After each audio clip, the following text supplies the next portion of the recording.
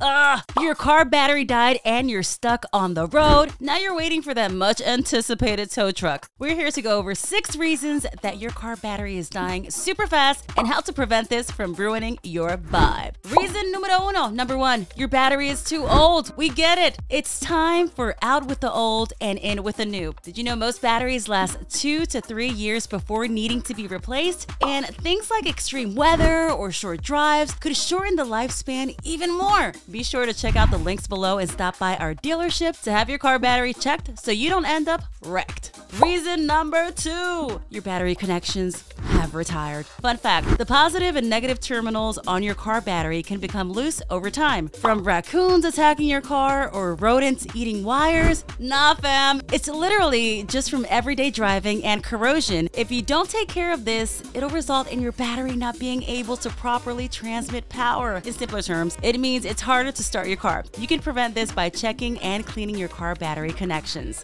Reason number three parasitic draw. We promise the aliens haven't invaded your Toyota just yet, but one day, one day. This just means that you left your cabin lights or your headlights on when you locked up your ride for the night. When your car is running, the alternator recharges the battery and keeps everything balanced so you can jam away to Taylor Swift or Jason Aldean. Pro tip, always make sure that everything is turned off when you leave your ride to go catch some Z's. Reason number four, your drives aren't long enough. Starting your car uses a large amount of energy, so if you're only driving short distances, the alternator won't have enough juice to charge your battery. This can shorten the lifespan of your battery, especially if it's older. Reason number five the alternator isn't working correctly. If your alternator isn't working, it won't be able to charge up your car's battery while you're driving. This makes it hard to start your car and can result in a dead battery over time. And trust, your car battery always seems to die at the most inconvenient times, like trying to escape that bad first date. Girl, I know. If you think you have alternator issues, schedule an appointment with our service team. Reason number six